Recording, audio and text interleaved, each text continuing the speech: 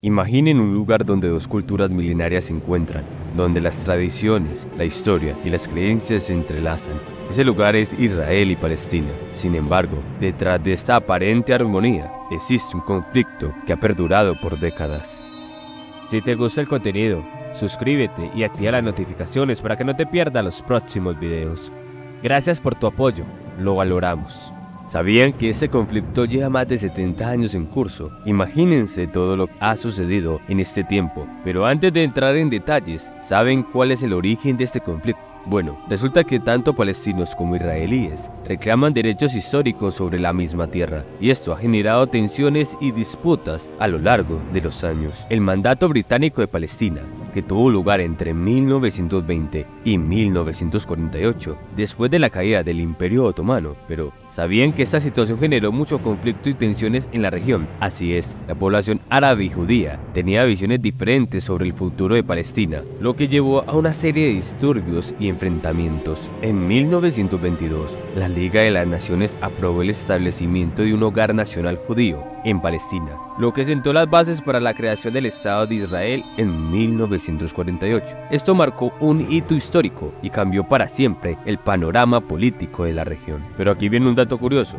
¿Sabían que el conflicto no siempre fue tan intenso como lo conocemos hoy en día? En sus primeros años hubo momentos de convivencia pacífica entre ambos pueblos. Sin embargo, a medida que pasaba el tiempo, las diferencias culturales, religiosas y políticas fueron creando divisiones cada vez más profundas.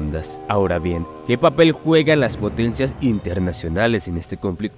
Pues déjenme decirles que ha sido un factor determinante. Desde la partición de Palestina por parte de la ONU en 1947 hasta los acuerdos de paz intentados en diferentes momentos, los países alrededor del mundo han buscado soluciones para poner fin a esta disputa. Durante este periodo también surgieron importantes líderes y movimientos.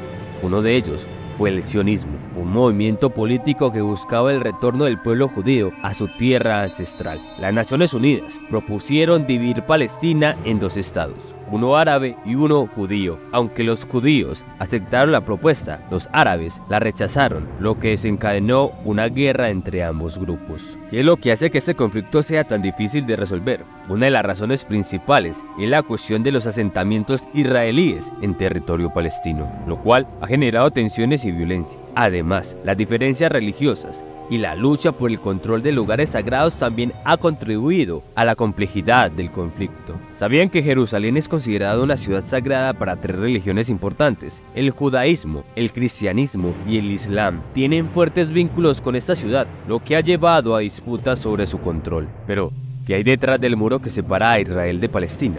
Este muro ha sido motivo de controversia, ya que algunos lo ven como una medida de seguridad para Israel, mientras que otros lo consideran una forma de opresión hacia los palestinos. Ahora, retrocedamos en el tiempo hasta septiembre del año 2000. La tensión entre israelíes y palestinos estaba en aumento y el descontento se había acumulado durante años. Fue entonces cuando Ariel Sharon, un líder político israelí, visitó la explanada de la mezquita en Jerusalén considerado un lugar sagrado tanto para musulmanes como para judíos. Esta visita fue vista como una provocación por parte de los palestinos y desencadenó una ola de violencia sin precedente. Las calles se convirtieron en campos de batalla, manifestaciones, enfrentamientos y ataques se volvieron moneda corriente. Los palestinos utilizaron piedras y cócteles molotov como armas improvisadas, mientras que las fuerzas israelíes respondieron con balas de goma y munición real. La situación se tornó caótica y miles de vidas se vieron afectadas. Durante esta segunda intifada,